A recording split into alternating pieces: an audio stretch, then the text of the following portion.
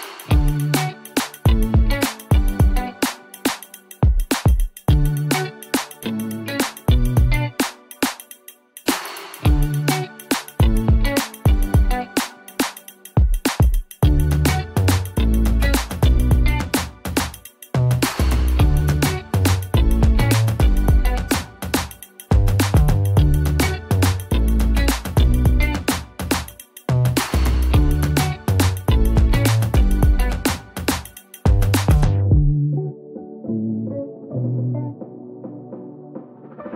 you.